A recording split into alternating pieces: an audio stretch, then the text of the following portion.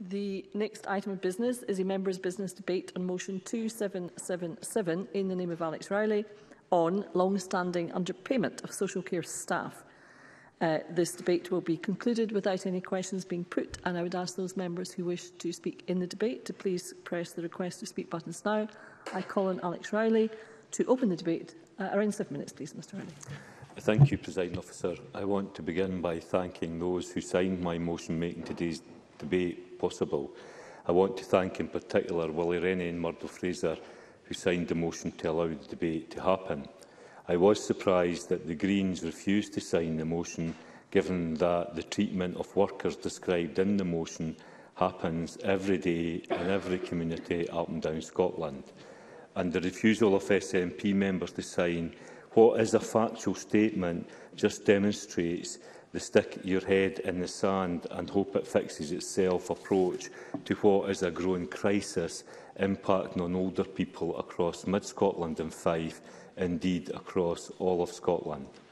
But let me be clear, I have not brought forward this debate to point blame at any political party. Far from it. What I'm attempting to do is to say that unless we take action now to address the unequal and unfair treatment of care workers, then we will not fix the growing crisis in the provision of community care in Scotland.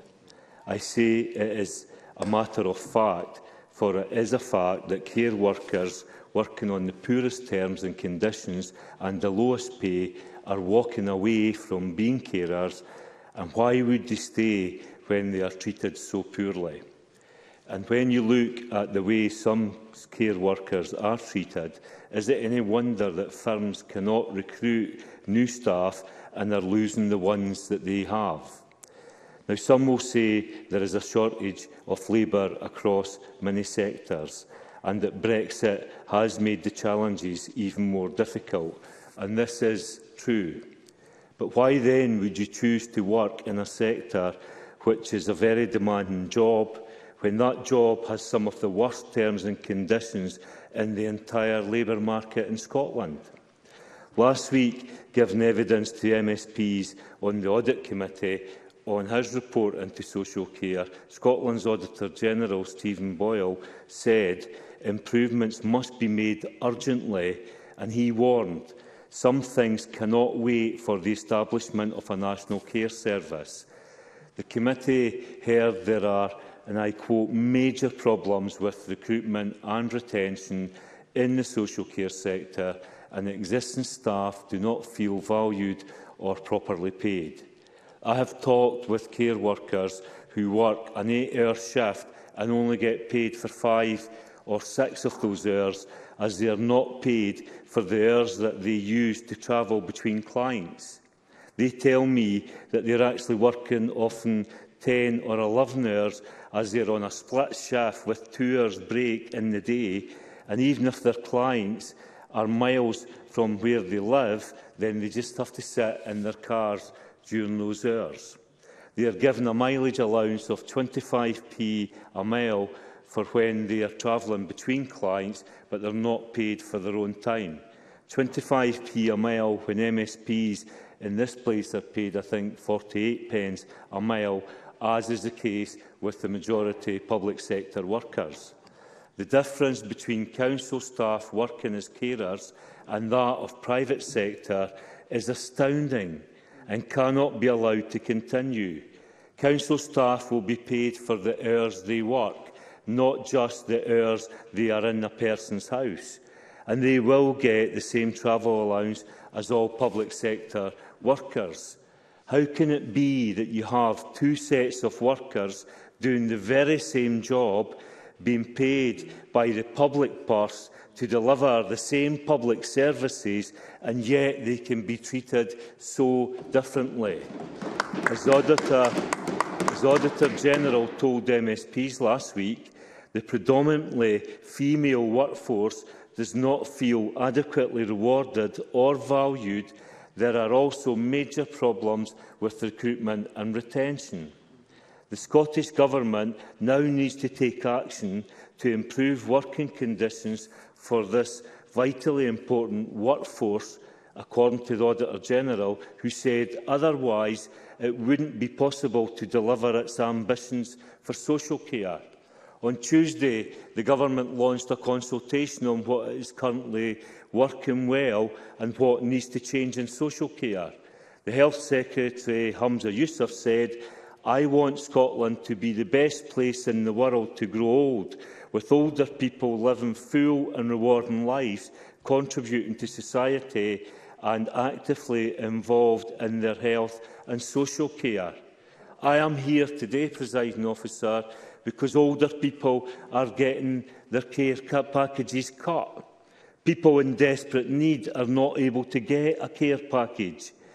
The numbers trapped in hospital because they cannot get home because there is no care package to support them are increasing and the reason the private companies who through a procurement process have been commissioned by the health and social care partnerships to deliver half hour and hour blocks of care say they can only pay the staff for what they're being paid for, which is the commissioning of the blocks of care. And as a result, the care workers end up being treated so poorly. And that is the main point. These workers may be being paid by private companies, but the money comes from government. The contracts, the commissioning is done through the government's health and social care partnerships. But by putting the work out to tender and through the commissioning regime, then it is cheaper for the health and social care partnerships. But let me be clear, this practice, which is resulting in an appalling treatment of care workers, has in the past been practised by all political parties when in power. So it's not about trying to blame one political party. It's about recognising that care on the cheap does not and will not work. I'm well aware I'm well aware of the ongoing debate about a national care service and I will, along with my party, fully engage within that debate. But I want to stress, unless we deal with the poor terms and conditions and low pay of care workers now, then the problems are going to just get worse and worse, and older people will pay the price through their suffering. Let's deal with this issue and deal with it now. Thank you, Mr Rowley. I now call on Emma Harper to be followed by Craig Coyer. Around four minutes, please, Ms Harper. Thank you, Presiding Officer. I welcome the opportunity to speak in this debate and I, I, I do recognise Alec Rowley for securing it. And Alec Rowley has just outlined the, out, um, he's just outlined the complexity of the care system My first job when I left school was in a care home before I started my nurse training. And, and I know that was a long time ago, presiding officer. And, um, and I remember right then, you know, the complexity of the work that we were trained to do and being asked to do. From the outset, I want to be clear that our social care workforce here in Scotland are absolutely valued. They do crucial work every day, often in very challenging circumstances and the COVID-19 pandemic in particular has emphasised the need for our social care sector to be supported and valued And social care means all types of personal and practical support for children, young people and adults who require it. And it includes a wide range of roles, including home carers, care home staff, activity and care coordinators, care managers, social work assistants, children and young person support workers, day centre staff, cleaners in care settings, admin support staff and many others. So it's important to keep this in mind when, dis to, when discussing the sector It is more complex than just one job, one role or one pay scale. Presiding officer, social care in, is an investment in Scotland's people, society and economy. Many of us, uh, or many of our family members and friends, will already use social care, and many of us will need to use social care at some point in our lives in the future. The social care sector in Scotland employs some 200,000 people and has an estimated financial value to Scotland's economy of £3.4 billion. Pounds. The sector is hugely important and a lot of work is going on to improve the sector and the experience of its workforce. The Scottish Government are committed to supporting people to stay at home or in a homely setting with maximum independence for as long as possible.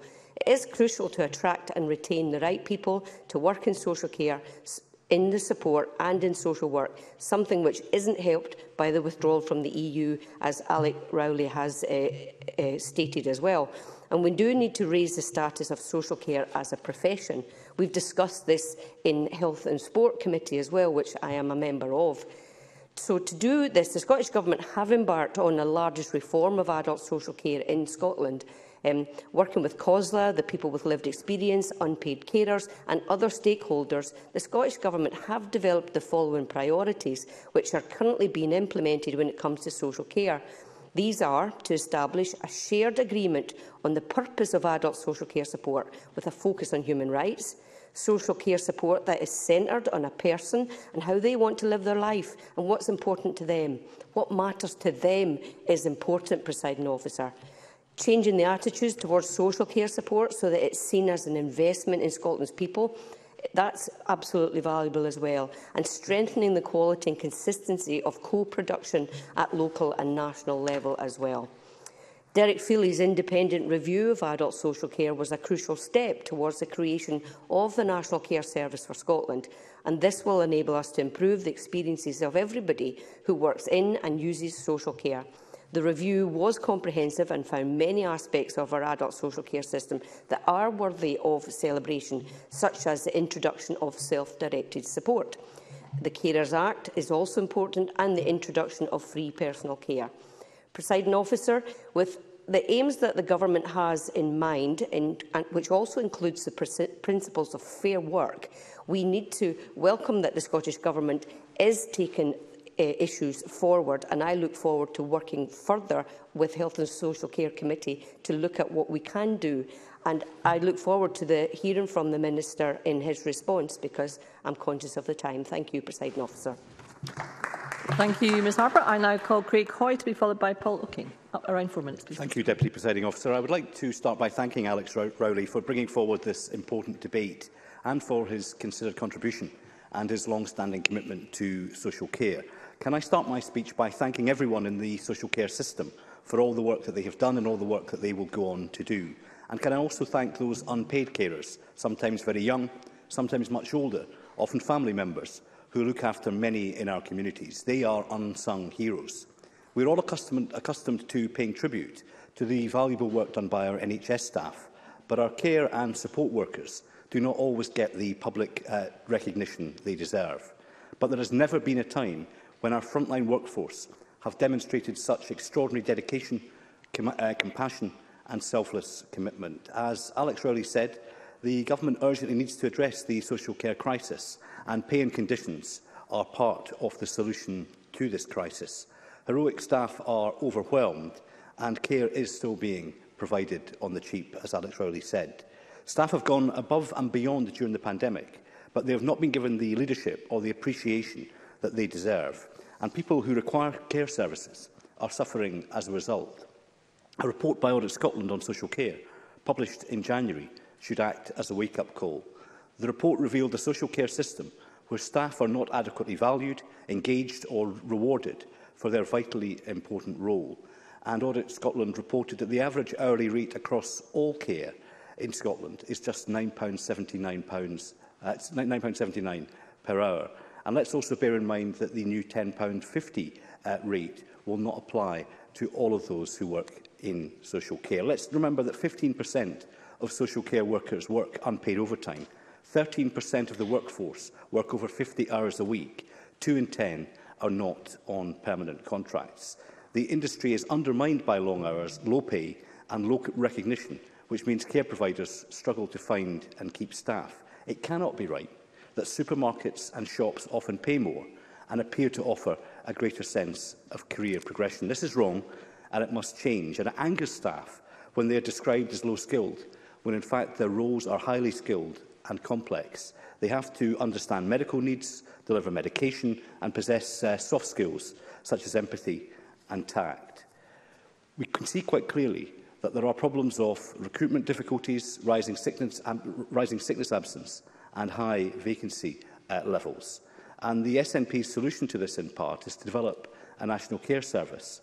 But far from being a positive step, uh, this could be perceived as a direct assault on local government, removing accountability and potentially undermining patient care. So instead of reorganising the chairs on the deck, ministers must now urgently and meaningfully uh, engage with uh, carers, staff and those who work in, this, in the sector but also those who need support. Deputy Presiding Officer Dr Donna McCaskill, Chief Executive uh, of Scottish Care, has warned that the industry is at risk of disintegration and collapse, so we simply cannot wait for a national care service. And I accept that additional funding is being made available. In 2024-25, Scotland will benefit from an additional £1.1 billion as a result of the Health and Social Care Levy. But if the Government is really committed to ensuring that every person receives the care they need, to be provided with the dignity they deserve, then they must take urgent action to address the needs of the, work, the workforce, and that means to better workforce plan. We need to show people that, who show an exceptional level of personal commitment and accountability that they are valued in terms of pay and conditions. And it's time to respect and reward those who work in social care and to end, I think, as Alex Rowley quite rightly said, providing care on the cheap. Staff are too often on the for, uh, forgotten front line and we owe to them to change this. Thank you. Thank you, Mr Hoy. I now call Paul O'Kane, who's joining us remotely, to be followed by Gillian Mackay, who will be joining us remotely. Mr O'Kane, around four minutes, please. Thank you. Thank you, Deputy Presiding Officer. Can I begin by thanking my colleague, Alec Rowley, for securing this extremely important debate today and for his powerful speech outlining the issues. And can I pay tribute to all of our care workers in Scotland who work day in and day out to look after and care for older people, people who have disabilities, and people with long term life limiting conditions. Their contribution is immense, and their work brings dignity, respect, and indeed happiness to the lives of so many and their families. Because caring is an essential service in our communities, but it is more than that. It is a vocation, a role that dedicated and compassionate people offer themselves to. And we know from the figures that these are very are predominantly women. Colleagues may not know this, but when I was a student, I worked in a care home. I was an activities organizer, means that amongst other things, I can call a really mean bingo. It was an experience that taught me a lot about older people and the challenges of living with an illness like dementia. And although I played a small part in a wider team, it was nothing compared to the contribution of care staff. They taught me the most. I was always in awe of their dedication, their patience, and the genuine care with which they supported people living in the home. Taking time to get to know them and their families, finding ways to brighten their days with stories and songs, fiercely protecting their dignity and independence, and sharing with families all the news and important moments they may have missed during the day or week. And in my job prior to being elected here, I had the honour of helping to tell some of the most amazing stories personal assistance that enable Scotland and the work that they did during lockdown. Re recreating Friday nights spent at the person they cared for's favourite social club at home, arranging for local pipe bands to play outside people's homes, or linking people up with their loved ones via digital methods. They went above and beyond because they cared. But the respect for their work and the rates of pay never matched what they gave, despite the efforts of some employers, particularly in the third sector. And they still don't today And Deputy Presiding Officer, that should shame us all. We must acknowledge the skilled and vocational nature of this work and pay people what they deserve, as this motion calls for. I was very struck by the recent Commonweal report highlighting the current failings in our care system and calling for ambitious reforms with the advent of the National Care Service in order to deliver the changes we need. And as I have said in the Chamber many times, this has to be about values, not structures, And those values begin with our people, the people who deliver care across Scotland. And we don't have to wait, we can act now. Scottish Labour have joined our trades unions, particularly my own union, the GMB, in calling for a £15 an hour minimum wage for care workers. And we have advocated this through the last two budget processes, but this has been rejected in favour of a 48p rise. If we are serious about honouring what was said in the pandemic about the value of carers calling them COVID heroes, then that must be matched by our action. And there is also more to do. Better support for the well-being of care staff through breaks, supply of food, rest areas and support services. More standardised qualifications that can be accredited and recognised across the care system. Apprenticeships in care, showing that it is a valued and important career choice for younger people. And clearer progression routes for workers that they can get on. Deputy Presiding Officer, it is clear that we owe all of our carers across the country a huge debt of gratitude. We trust them with the most precious thing in our lives, which is often our family members, often in difficult and challenging circumstances. And as such, we should offer them a rate of pay and a set of conditions that meet the huge responsibility and reflects their talent and dedication. We on these benches will continue to urge the government to act, both offering our own vision of what care should be in Scotland. Thank you.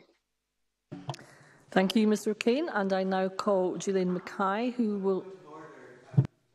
A point of order from the Minister. It was quite difficult to hear Mr O'Kane there. I picked up um, the bulk of what he said, but it was not easy. I wonder if we're hearing from, Mrs, uh, from Ms Mackay online, if we could try and do something to boost the sound a little bit, please. Thank you, Minister, for your point of order. I did note myself that the sound was patchy. I am sure that the broadcasting unit have heard your plea, and I hope that they act on that. And let's try it out and see how we, we go with uh, Gillian Mackay. Uh, Gillian Mackay, I see, is there and ready, and uh, will be the last speaker in the open debate. Around four minutes, please, Ms Mackay. Thank you. Thank you, Deputy Presiding Officer. I'll try to use my outside voice just in case it's still quiet. Um, care workers perform an extremely challenging, complex and skilled role. They look after our loved ones, often when they are unwell, vulnerable or coming to the ends of their lives. And I would like to offer my heartfelt thanks to care workers for all that they do. The enormous contribution of care workers to our society has for too long gone unrecognised, however. They were classed as low skilled by the UK Government, which we all know is simply not true. It was International Women's Day on Tuesday and the theme was Break the Bias. In light of this, as many others have, it's worth noting that with women making up approximately 85% of the workforce, failure to properly appreciate social care workers is linked to how we value caring roles which are traditionally performed by women. I was struck by the words of Fiona Colley from Carers UK when she recently gave evidence for the Health, Social Care and Sport Committee. And I quote, We often talked about the important role that the National Health Service plays, but we talked less about the significant role that social care plays in maintaining people's independence and enabling them to live good and positive lives. The role of social care has been very hidden. It is right that social care has now become a national focus and it is long overdue. The pandemic may have highlighted the undervaluation of care workers. But this has been a problem since long before any of us had heard of COVID 19. Care staff were often working in difficult conditions before the pandemic with low pay, long hours, and insecure work to contend with. But for the past two years, they've also had to deal with a dangerous virus which has devastated care homes. A workforce survey conducted by Scottish Care published its interim findings in September. It found that the number of hours staff were working was markedly high, with increasing pressure on them to maintain the same quality of care while working longer hours. Almost 50% of organisations relayed that their staff were working more than 35 hours a week. I am extremely concerned about the physical and mental well-being of care workers who have been under such sustained pressure. As we seek to help social care recover from the pandemic, we must prioritise workplace wellbeing. Some care workers may have been traumatised by their experiences and they must be able to access mental health support when they need it. As we enter the recovery period, we are also creating a new national care service, cornerstone of which will be improved terms and conditions for staff. That is why the Greens and the Scottish Government have committed to deliver ethical commissioning that promotes fair work and this is vital. The independent review of adult social care highlighted that the current approach to commissioning and procurement is characterised by mistrust, conflict and market forces. At the moment, commissioning and procurement processes are largely focused on cost, which can squeeze pay and conditions. Ethical commissioning would shift the emphasis from cost and include a range of factors, including workforce terms and conditions, and investment by providers in training and support for staff, as well as the quality of care. We must ensure staff can access the training they need, as well as opportunities for career development and progression. This will be key to improving both recruitment and retention. That is why we've also committed to a system of national collective bargaining through which we'll deliver improved pay, terms and conditions.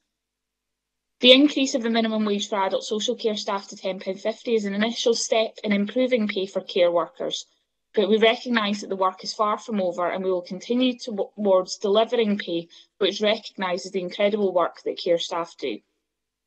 I will close, Deputy Presiding Officer, by once again extending my thanks to everyone working in the social care sector. We recognise that care workers' pay, terms and conditions must continue to improve, and we will continue to work towards this and create a national care service where staff are properly valued and respected. Thank you, Ms Mackay. And I now call on Minister Kevin Stewart to respond to the debate on behalf of the Scottish Government. Around seven minutes, please, Minister. Thank you very much, uh, Pre Presiding Officer. Um, and can I first of all um, thank Mr Rowley for his considered contribution today and the tone and tenor um, of what he outlined in the chamber. And I think, you know, if we did that more often, uh, we would do a lot better uh, in this place. So thanks to Mr Rowley for that. Um, President Officer, I'd like to uh, thank the social care workforce um, for their remarkable work, providing critical and invaluable support uh, to people right across our country. Um, in this debate, uh, a lot of attention has been rightly paid to social care workers delivering care. Uh, but like e-, Emma Harper, I'd also like to thank and acknowledge the domestic cleaning, maintenance and administration teams whose vital work keep these critical services running.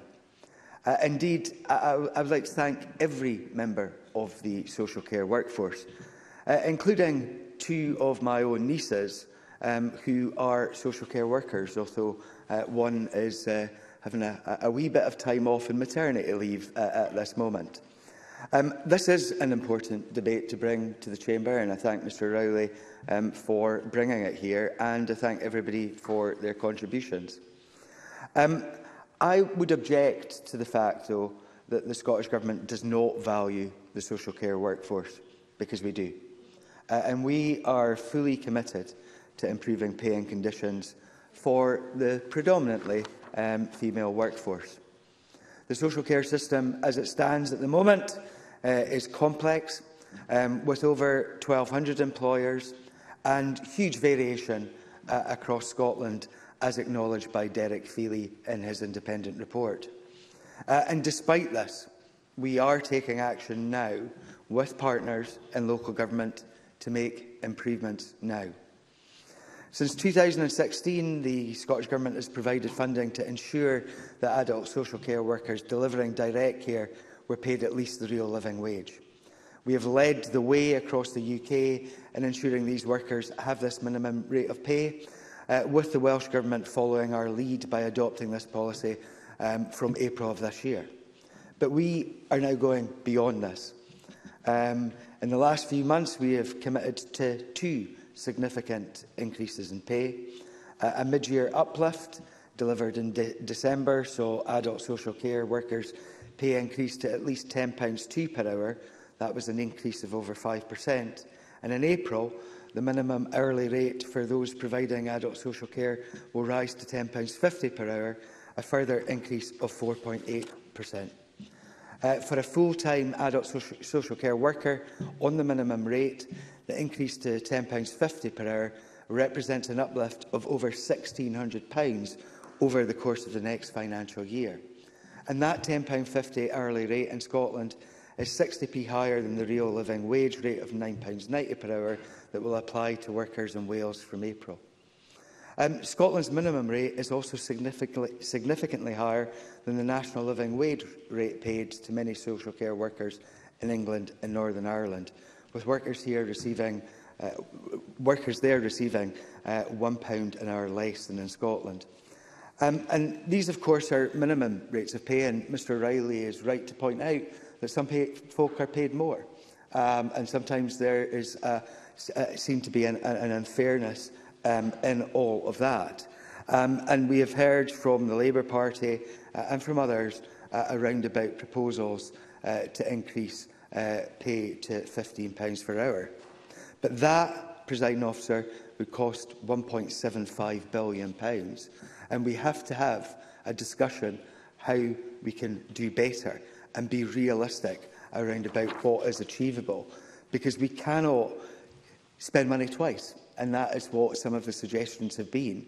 I am more than willing to speak to Mr Rowley and others on these points. We need to go further. But I think we all have to uh, grasp the reality um, that some of this uh, we will have to work through and find the money because we cannot spend that money twice. So my door is open to Mr Rowley and others uh, with any credible ideas that they may have. And I'll take Mr Hoy. Hoy. I, th I thank the Minister for giving way and also for his uh, commitment to fair pay for the sector. Can the Minister say what assessment the Government makes when changing uh, uh pay rates within social care on uh, the issue of differentials where it has an impact on other uh, care home uh, workers where the government may not reimburse, particularly private sector providers, uh, for those increases that will, will then uh, feed through the system? Minister. Well, uh, there is a huge complexity in all of this. You know, those two pay rises in recent times do not come without difficulties because what we have to do in partnership with others is to make sure that the money that the government has provided actually gets into the pockets and the purses of the workers. Uh, and with 1,200 different employers, that is not as easy as it sounds. And of course, um, the discussions that we have had with COSLA, with local government, with health and social care partnerships and others, including third sector and private sector uh, employers, that throws up um, other anomalies, um, which we have to work our way through. And, you, you know, I, I've got um, uh, meetings in the very near future uh, around about uh, what has happened here and what the impacts are on other sectors. So we are looking at this too, but this is immensely complex as it stands at this moment in time. Um, and I think, you know, Mr Rowley was right to point out around about the different procurement that goes on, um, some of which um, you know, uh, certainly didn't happen when he and I um, were in local government. Um, and I think there has been too much emphasis um, on value for money rather than quality services for people, which includes paying staff well and ensuring that you have a workforce excuse me, um, which um, has the freedom and autonomy to do what's right for the clients um, that they are visiting um, on a day and daily basis and caring for. Uh, and that's why ethical procurement, as Gillian Mackay has mentioned, is so important as we move forward, because we have to get this absolutely right. And ethical procurement includes fair work. And it's not just fair work, uh, presiding officer, because caring is a profession. And we have to ensure that in order to attract new people, young people, to that profession, that they can see the opportunity to advance in their careers. And that's why it's so important that we have the right apprenticeships, the right ability um, to, uh, to continuously improve and get the qualifications, and the ability to swap careers between social care, social work, the NHS, if uh, and when that is right. And I am committed uh, to doing all of that. We must ensure that we build a social care system for the future with human rights at its very heart, with a person-centred approach.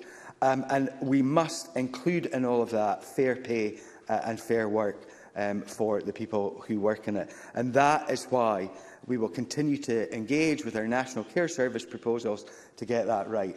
However, we cannot wait for National Care Service itself to make some of those improvements, and that's why I'll continue uh, to talk to COSLA um, who I think uh, have been very positive with the government in terms of looking at what more we can do.